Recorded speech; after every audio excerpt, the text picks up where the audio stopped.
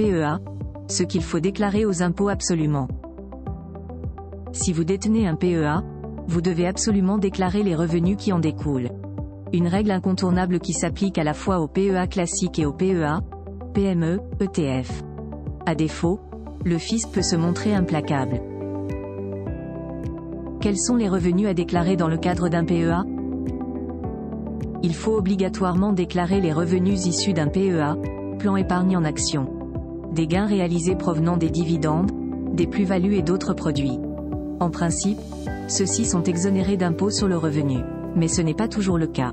Les gains potentiels d'un PEA sont imposables lors d'un retrait ou d'un rachat avant 5 ans. Idem pour les revenus des titres non cotés détenus dans le plan. Dans le premier cas, le taux d'imposition s'établit à 12,8%. À cela s'ajoutent les prélèvements sociaux, CSG, CRDS. Dans le cadre d'un PEA, le gain net s'apparente à la différence entre la valeur liquidative, à la date de retrait, et le montant des versements réalisés sur le plan depuis son ouverture. Néanmoins, les retraits anticipés sont exonérés d'impôts sur le revenu en cas de décès du titulaire du plan. Idem lors d'une affectation des sommes au financement de la création ou de la reprise d'une entreprise, sous condition. Notons toutefois que la clôture du PEA est inéluctable suite à un retrait avant 5 ans.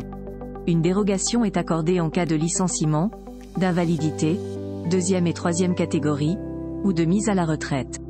Des situations spécifiques pouvant également concerner le conjoint du titulaire du PEA. Bien évidemment, en l'absence de retrait ou de rachat, l'exonération fiscale s'applique par défaut. Sinon, les gains résultant des retraits effectués en 2023 doivent faire l'objet d'une déclaration cette année. Ceux qui datent de 2024 sont à déclarer en 2025. Afin de bénéficier d'une stratégie d'allocation via un PEA, rendez-vous sur Fortuny Conseil. D'autres cas spécifiques à souligner le PEA reste pour l'heure une alternative intéressante pour investir en bourse. Pour maximiser l'avantage fiscal du plan, conservez votre PEA plus longtemps. Au-delà de 5 ans, vos gains bénéficient d'une exonération d'impôt sur le revenu.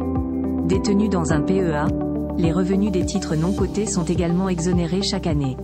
Mais cette exonération est limitée à 10% de leur valeur d'acquisition. Au-delà, un taux d'imposition de 12,8% s'applique aux revenus auxquels s'ajoutent des prélèvements sociaux à 17,2%. D'autant plus que les retraits partiels effectués après 5 ans n'entraînent pas la clôture du PEA. Le retrait peut d'ailleurs prendre la forme d'une rente viagère. Les gains sont soumis aux prélèvements sociaux à hauteur de 17,2% en cas de retrait ou de rachat après cette période de détention. Il s'agit plus précisément du CSG, du CRDS, du prélèvement social, de la contribution additionnelle et du prélèvement de solidarité. Après le délai de 5 ans, vous pouvez encore alimenter votre PEA via de nouveaux versements.